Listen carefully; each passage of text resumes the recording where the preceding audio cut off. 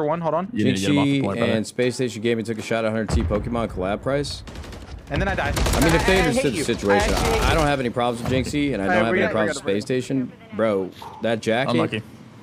costs, I'm s- I'm nine and before sixteen. anything custom to it, just the, the jacket itself It's okay. costs like Listen, it's all $700 about to to bounce back now. How you started. It's a collectible. We're not winning. We, weren't- we weren't trying to sell uh, And Alright. fuck those thousand, dare thousand what's new. jackets.